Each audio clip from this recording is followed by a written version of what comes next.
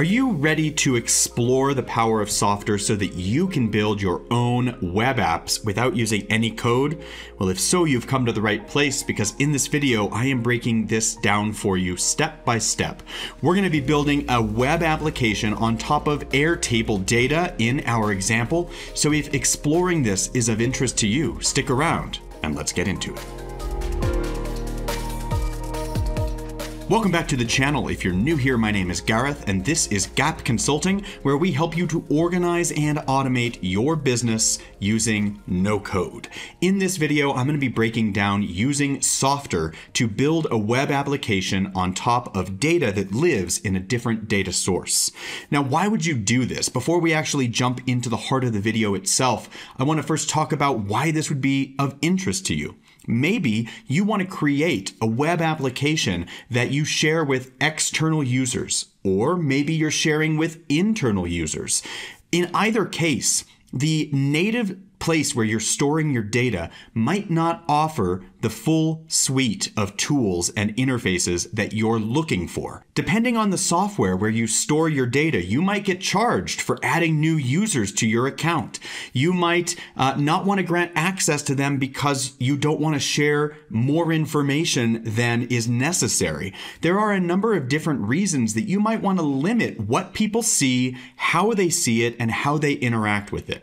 And Softr solves this problem for you. It allows you to build that web application where people can sign in, see only what you want them to see, edit only what you want them to edit, and have full capabilities of demonstrating exactly the data that you want people to see at a moment in time. So let's go ahead and hop on into my screen. I'm going to go step by step here. And before we get started, feel free to follow along with me using your own Softr account. If you're not already using Softr, go ahead and sign up using our link that I will share with you wherever you found this video. So hopping into Softr, the first component is going to be to create a new application. Down here, you can see that we use Softr quite a bit, both internally and for our clients. And of course, I can start with a template, but that's not the point of this video. We want to build something somewhat from scratch. So I'm going to click on new application here and it's going to ask me if I want to start with a template or start from scratch, which I will choose blank application. Now this is a really neat feature that is kind of newer in Softr where there are those fundamental building blocks that Softr sees used over and over again. And so it's going to allow us to start our application using those building blocks. So for example, we might have a list of different things that we want to demonstrate on our application. We might have details, like if we want to click into the details of that list, we can do that. Bring in a form, create user profiles, uh, helping people reset a forgot password, uh, sign in, sign up, etc. So these are different components that you can add to your application just by leaving them clicked up now, in this case, maybe I don't want to use the form. I have no reason for a form in my application, so I'll deselect it, but everything else is just going to help me get up and running faster. Now, I'm going to say create application, and on the very next screen, just after a little bit of thinking, Softr will have already created all of those different template components for our application. Now, if I want to view them, all I have to do is on the left-hand side, go to Pages.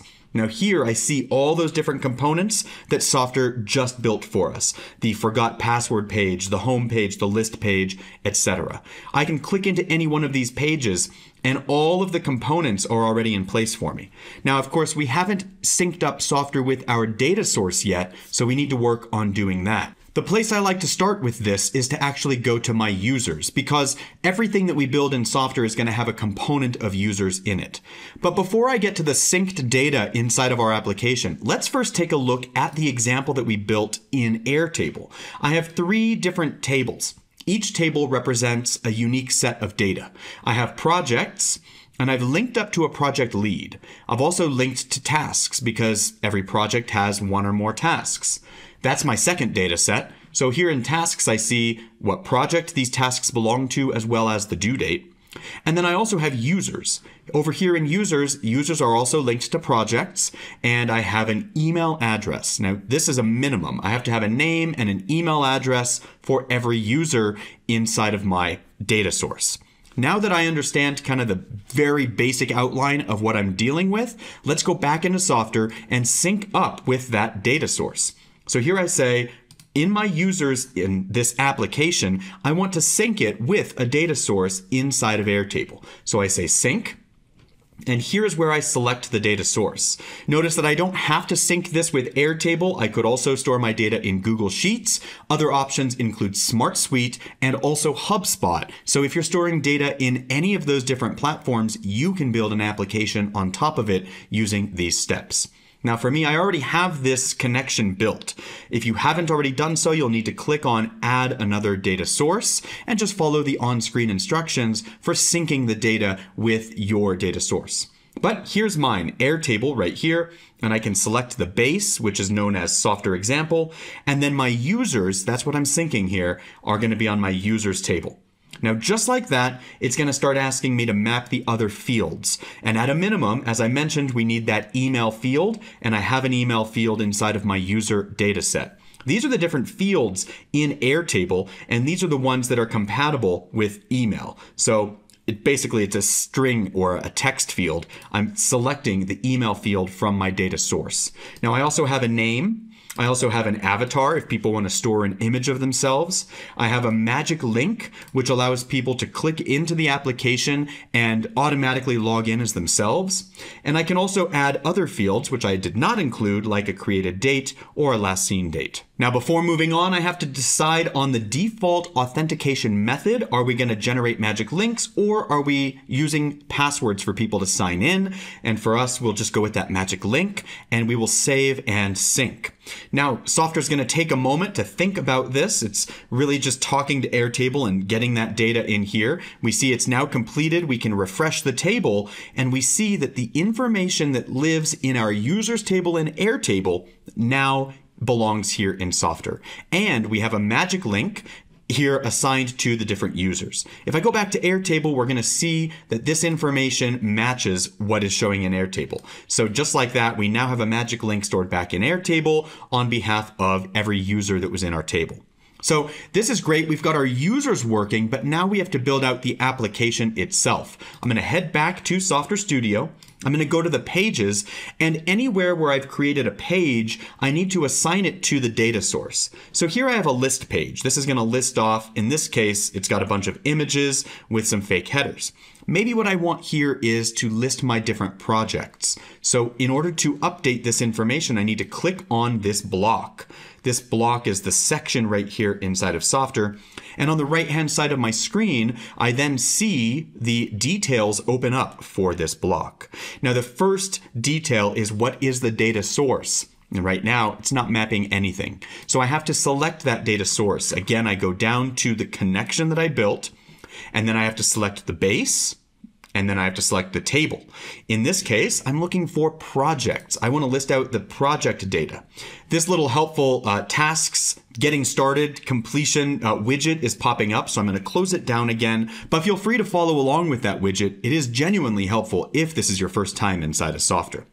Now I can also select a view in Airtable if I had created a specific view that I wanted to share in the application, I can do that. But in this case, it doesn't really matter, so I can say none. Now, I can come down and apply conditional filters as well. Imagine a scenario where we want our users to only see the projects they are associated with.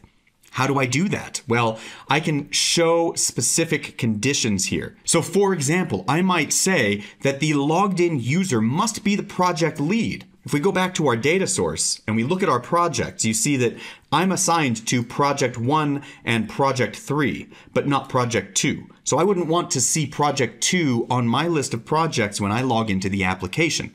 So if I'm in Softr, how do I do that? I say if the project lead includes any of, and then I can go to the logged in user value and bring in the name or other components. I might look up the email address of the logged in user or something along those lines. What I'm doing then is conditionally filtering the amount of data that shows up here, making sure that it applies to the logged in user.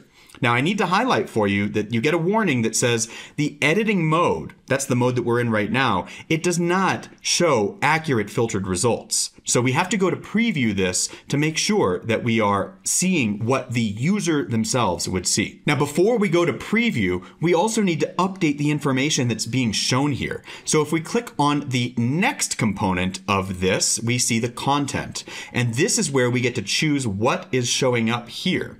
And so if we scroll down, we see that there's an image, a name, and text. So name is properly mapped. It's bringing in the name of the project, which is perfect. But I don't have an image for my projects, so I can actually just remove this component entirely or hide it.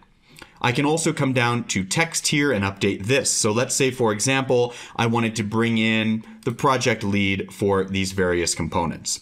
So I can see here project 3 with my name attached, project 1 with my name attached, project 2 does not have a project lead. I can also add labels here so I can say project lead, for example, and now we see that showing up here. So now that I've added these components, let's go to preview this application and to see this page, but I wanna make sure that I'm seeing it as myself. So I'm going to click on the users here and preview it as the user that we added. We get a little warning here that says, hey, any changes you make might actually change the underlying data. That's fine, let's move on. And after waiting for this to load, we see that we now, as we're impersonating myself here, we see the two projects that I'm associated with. So again, if we go back to the data source, I am not seeing project two, and this is how to conditionally filter information inside of software based on what your users are attached to. So really, really powerful components here that allow us to make those kinds of changes. Now, Let's actually do one more thing before finishing up here. I want to give an action for this information. Maybe I want to enable my project leads to change the name of projects. I want them to be able to edit the underlying data itself. In order to do this, I set up my actions here. On actions, we see that we have this button, and if we look at this, not everyone can see the button, that's fine. Only logged in users, that's exactly what we want. Not anybody can come into our application and start making changes, so you have to be logged in. And what is the action of this button? Well, if we click on it, we see that we can actually edit the record. And if we break this down, we see all the different components that we will be able to do here, all the things that we have the ability to update. So if I'm back inside of my application, this is again in the preview mode, and I click update, it's going to bring this out, but it says, hey, hold on, this hasn't quite been configured yet. So we have to go back in here and actually update this information. So in order to do this, let's break down these different components. I'm going to remove the file and all of this. What I want to do is make it so that people can update the name of that particular item, right? So the name is a text field type. I select text, and I map this to the name inside of the project. Again, I'm going to close down that little helper modal, uh, but I've mapped this text now to the name field. And I can say project name for the label and I will not have a placeholder. So I'm pretty happy with this now. Let's go back to our preview. In fact, I'll open up a new preview window. And again, I will choose to impersonate this as myself. And if I click on update now, I see that I can update the name of the record. This is the name of the project. I could make any kind of edits possible using this exact same methodology. I could update phone numbers. I could update uh, associated records. I could update anything any data that lives at the original data source. But here I am, instead of project 3, maybe this is project 9 and it was mistyped originally. I click update and this is going to change the actual underlying data. We get a note that says the record was updated successfully. We see that it's now updating successfully inside of Softr, but most importantly, if we go back to Airtable and we look at the raw data, this is the underlying data that drives our application, we see right here, Project 9. It has been updated and it reflects the changes that were made in our web application. Now, once we're ready, we've gone through and we've built all the different components, be sure to publish your changes. And at that point, you can share your application, whether it's with people internal to your organization or external. Once you have all the different components, take it out for a good test drive and you're ready to share. I know we went really fast in this video, but there's a lot of powerful components to Softr that I wanted to make sure to include. Any questions that you might have, be sure to drop them below. But in the meantime, keep on building.